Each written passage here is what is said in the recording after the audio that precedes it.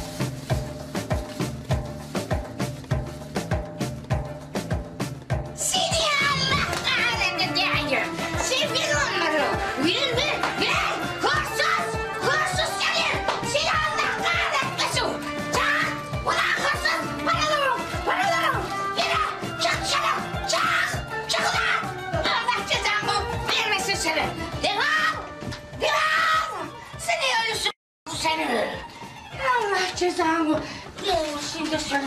He? He. Ana. Oldu. He, buldum lan. Sonunda buldum. He. Ne oluyor lan burada? Günaydın. E, kral hazretleri teşrif ettiler. Ulan senin kuyruğunda pireler uçuşurken neler oldu haberin var mı? Çok güzel rüya görüyordum lan. İyi de bir fantezi yapıyordum. Bak sadece senden oluşan bir harem kurmuşsun. Hepinizi sıra dayağına çekiyordum lan. E, sen rüyanda böyle alem yaparken eve hırsız girdi hırsız. Ne? Hırsız mı girdi? He? Ciddi mi diyorsun lan? Bir şey almış mı? Alma mı? Tabii ki aldı. Ama ben onu böyle gölge gibi böyle takip ettim. Siyah poşet filan bir şey almış mı? Ha sen onu mu diyorsun? Tabii canım. Almamı onu da aldı tabii. E, ne de olsa profesyonel hırsız. Öyle profesyonel arayıcı bulucu. Ne? Aa, Paralar. Lan! Ana! Ne oldu lan? Paralarım. Paralarım ne oldu lan? Puh! Utanmaz. Kendi öz bez kazandığın paraları bir de paraları mı diyorsun sen be? He? Nereden senin paralarıymış be? He? Para el değiştirdi. Tekrar eski sahibine döndü. Şimdi yatırım amaçlı güvenli bir yere yatırdı bunu. Ya! Bana bak.